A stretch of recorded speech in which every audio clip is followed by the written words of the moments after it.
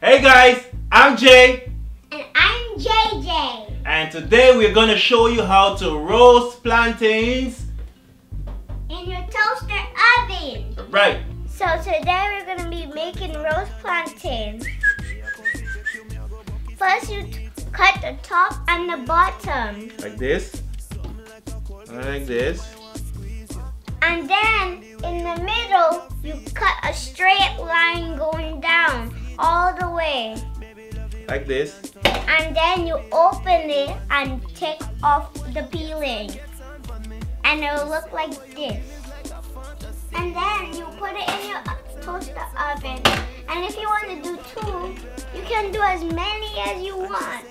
It matters of how long your toaster is and how wide.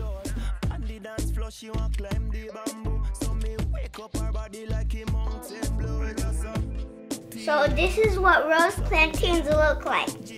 I like my roast plantain really, really dark. I'm gonna put smoked herring. You can use codfish or whatever you like. This is so yummy.